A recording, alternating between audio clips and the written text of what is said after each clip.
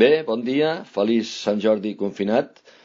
Eh, gràcies per l'oportunitat que ens brindeu des de la Biblioteca Tecla Sala de poder participar en aquesta interessant iniciativa que heu endegat amb motiu d'aquesta jornada. Les meves recomanacions són dues. Començaré per un llibre que encara estic llegint perquè és força gruixut, del qual és autor l'historiador Gonzalo Pontón, editor, antic editor de l'editorial Crítica, que es titula La lucha por la desigualdad, una història del món occidental en el siglo XVIII, amb pròleg del també historiador ja mort, Josep Fontana. És un llibre carregat de dades, molt interessant, un llibre imprescindible del tot per saber els orígens del capitalisme.